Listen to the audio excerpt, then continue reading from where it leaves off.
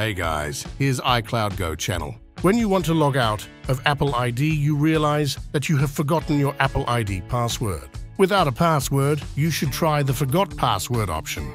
If you don't have a passcode set up, you'll need to verify the phone number tied to your Apple ID. You can use the passcode to reset your Apple ID password if your iPhone has a passcode set up. What should you do if you have neither? This video will show you how to sign out of Apple ID on your iPhone without password and phone number.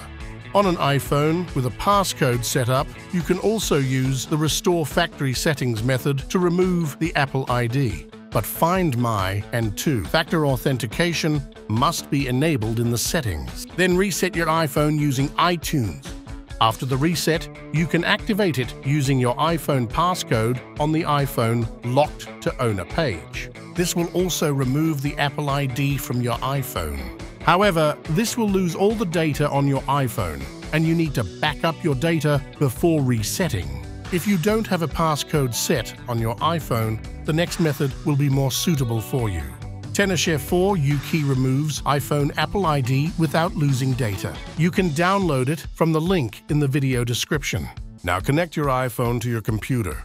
Then launch Tenorshare 4 UKey. You need to select Remove Apple ID here and then select Sign out of Apple ID.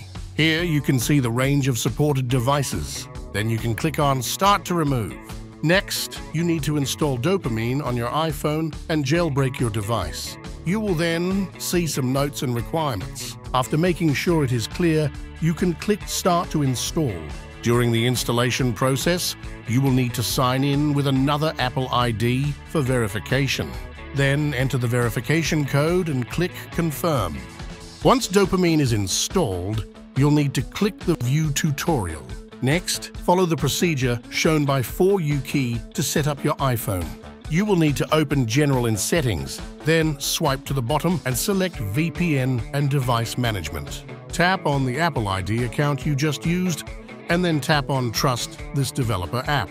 iOS 16 devices need to enable developer mode in Settings. iOS 15 devices do not need this step. Then return to the home screen and open Dopamine. Now you need to perform iPhone jailbreak. Select Sileo and tap Continue. Your iPhone will then start to jailbreak and install Sileo. During the jailbreak process, you are required to set a password. Here it is recommended that you enter 1 as your password. Tap Set. Your iPhone will then shut down and reboot. After the iPhone starts, the jailbreak is successful. Go to the home screen and you will see Sileo. Then you need to open Sileo and click Accept. Then type OpenSH in the search and get it. Click on Q and confirm to install OpenSSH. Once the installation is done, you need to click Start in 4UKey. Then click Start again and it will start removing Apple ID from your iPhone. Your iPhone will shut down and restart. After the iPhone reboot, your Apple ID is done logging out and it doesn't affect the data on your iPhone. Then you can just sign in with your new Apple ID. Do not reset your device or update iOS if you have not recovered your original Apple ID password. This may cause your iPhone to become stuck on the activation lock screen or invalidate the solution. Well, this is the solution to remove Apple ID from iPhone. Thank you for watching. I hope my video helped you and please don't forget to give me a like and subscribe to my channel. That's all for this video. Let's see you in the next video.